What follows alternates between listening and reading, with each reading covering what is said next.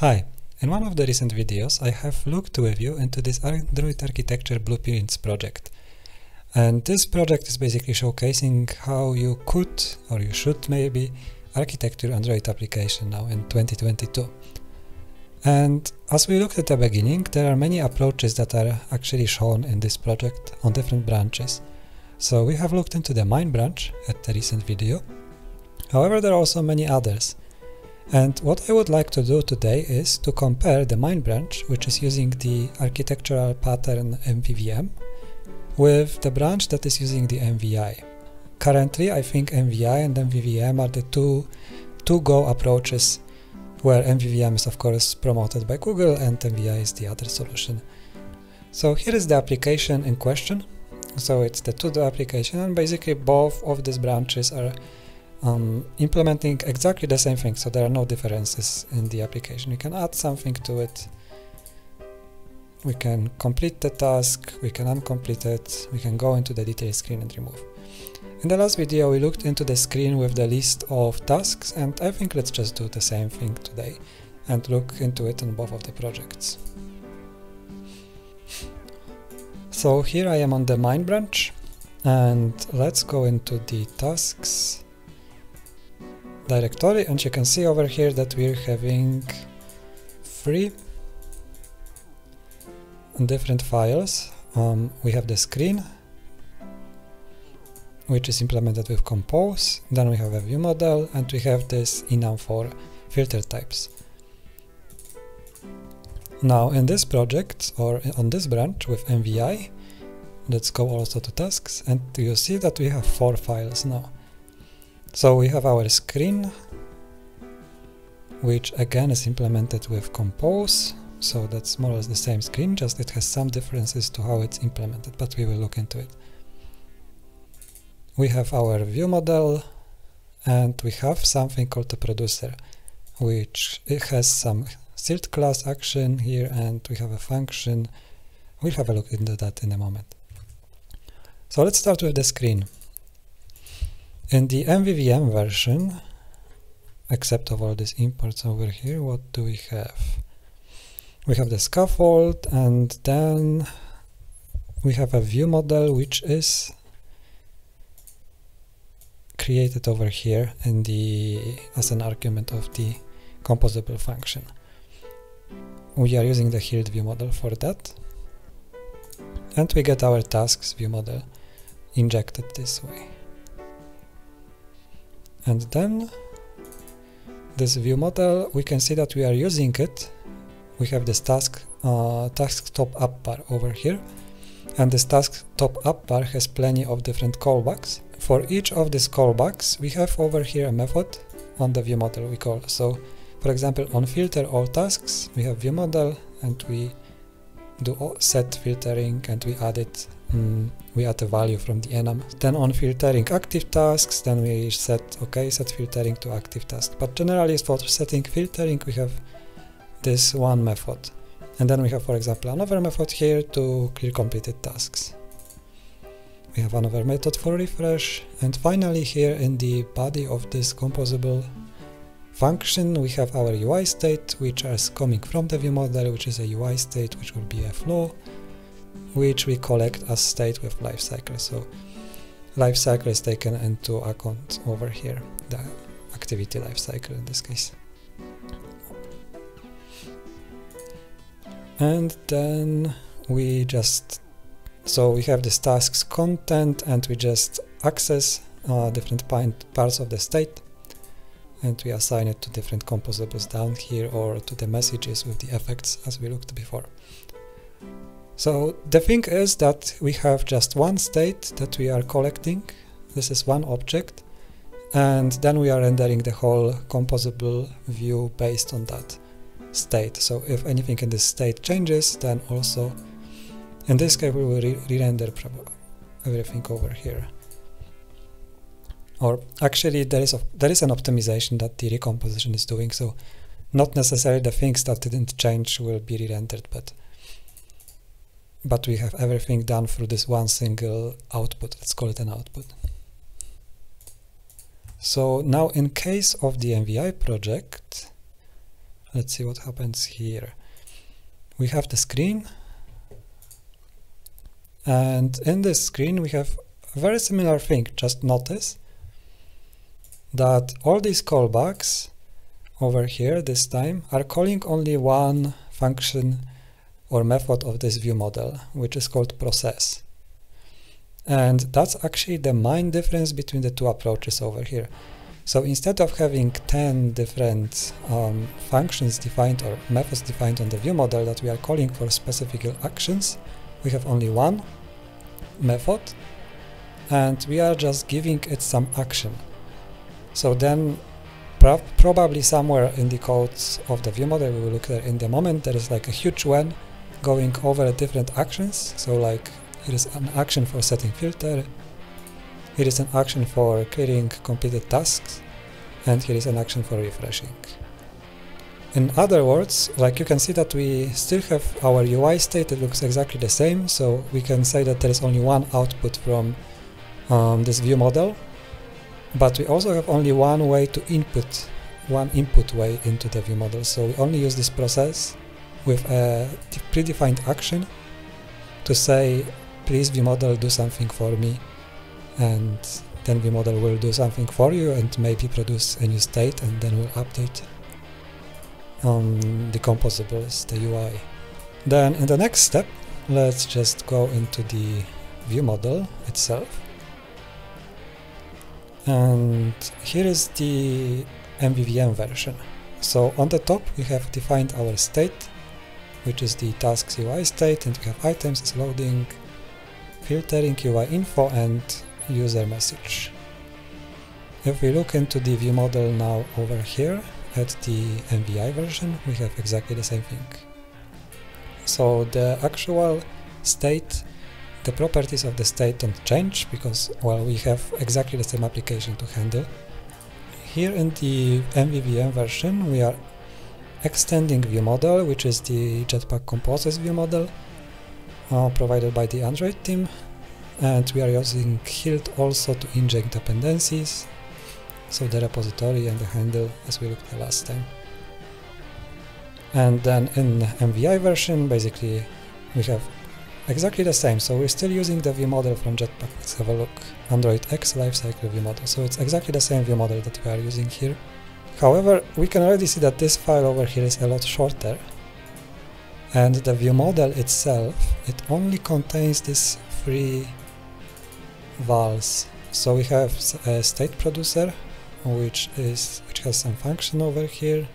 We have the UI state, and the state actually comes from the state producer. And then we have this process which contains this must be a method here or a function, sorry. So we are assigning a function to this val over here. Back in the MVVM um, version, there is a lot more happening over here already at the very top but we have our UI state over here, which is a state flow defined. And yes, and we have this combine, which is combining this lots of different flows that we have defined over here. And then when everything is together, when anything, any of these flows changes, then we are basically emitting a new state already. And then if we look down over here, we have a bunch of different methods defined. So what we've seen before and, and on the task screen over here, we have the set filtering, clear completed tasks and others, and they are just defined over here. So from view, so the composable view is calling a function on a view model, and then this function is actually doing some work for us. So in case of clearing completed task here, we have we are launching a coroutine. Inside of this coroutine, we are actually clearing the completed tasks on the repository. And then also we are just, we want to show some snack bar, so we have a method for that, and we want to refresh in the end. Let's see. Yeah, so here we set just a message to this user message, which is a mutable state flow, and when it changes, then this changes, and the UI gets re-rendered. Now, if we go to this MVI project, we don't have that. We have just this process method, which is also coming from state producer. So everything is actually defined in this state producer. Therefore, we have to look into this task, uh, task state producer. Let's see what this is. And that's the fourth magical file that appeared over here in the tasks um, directory that we don't have in this MVVM project. So on top here we have defined this action. So it's a sealed class and then we have um, we're inheriting from this action to all the different actions that can actually happen on the view. So in this case we can clear complete task, we can show edit result message, we can set filter, and we can set task completion, completion. And finally we also can show some snack bar. Or no, we actually define that a snack bar message was already shown. Okay, so uh, it's always a problem with snack bars because it's one-off message. So if you have a message in your state, um, then you don't want it to be rendered every time the state changes. So here they apparently mm, fixed it in a way that it doesn't change every way that they just have another action and once um, a snack bar was already shown then they are just telling the view model okay market has already shown now. And then we have the state uh, task state producer method or function here which are taking some coroutine scope in which we can run something or launch something then we have the repository. Okay, so we just get the dependencies that were injected to view model. And here we use some action state producer. What is this? All right, this is coming from somewhere, from utils. So this is some reusable method that we probably just take advantage on in every of the screens. And that actually have the state and the process methods defined over here. Let's go back, let's have a look what else do we have here. So this is taking the scope, it has the initial state, and the initial state is just loading through because at the beginning we are loading um, the tasks. Then we have a mutation flow with a list of some dependencies, load lists. Okay, so there is a function right now which will load the list probably of tasks. We, we, we take the saved state probably and then we take the tasks from the repository. And the repository all do all this magic to the local and remote sources for us in here. So basically for everything that happened previously in a separate function, we have in, inside of a view model, here we have just a separate private function which is somehow being called on an action. And where does this happen? Here. So we have this action transformations which take a lambda. And yes, here we have this when. So if we look back into the screen, if we want to do something, we have this process method and we give it an action dot refresh and then finally we reach this point where we actually get this action type and based on the action we execute something.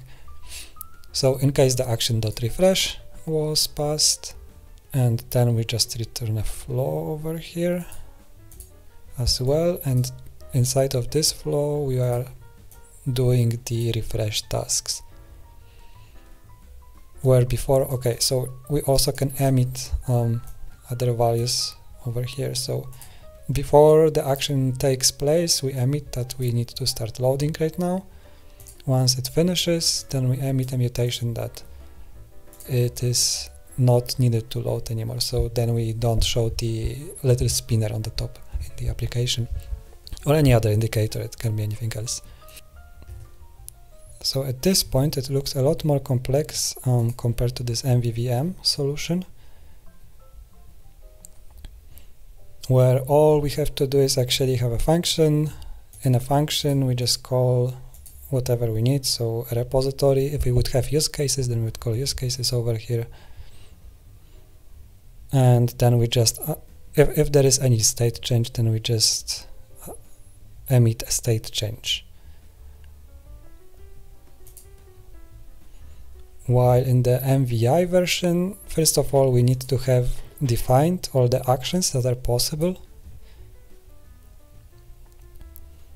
Then we have this process and state um, defined even here